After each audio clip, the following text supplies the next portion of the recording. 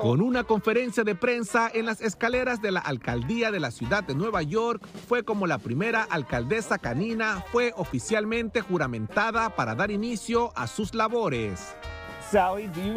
Durante esta toma de mando de la alcaldesa Sally la acompañó la primera diputada canina de Nueva York, Riley, quienes juntas representarán a todas las mascotas de la Gran Manzana en la alcaldía y de la alcaldía de la ciudad de Nueva York, la alcaldesa y diputada canina se trasladaron hasta este restaurante de perros en el Bajo Manhattan para celebrar su nombramiento en donde recibieron las llaves de la ciudad en forma de hueso, disfrutaron de una deliciosa cena y compartieron con algunos invitados más.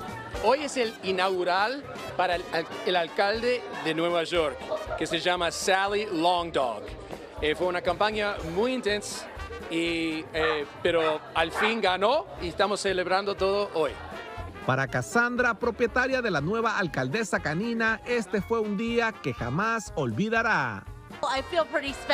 Me siento muy especial como dueña de un perro. Nunca supe que esto podía suceder y cuáles serán algunas de las responsabilidades de esta alcaldesa honoraria. Vamos a trabajar juntas usando las plataformas para recolectar fondos para los rescates en toda la ciudad y hacerla más amigable de mascotas, así como asistir a eventos y ayudar a negocios locales. El cargo tendrá la duración de un año y estamos seguros de que Sally hará un excelente trabajo.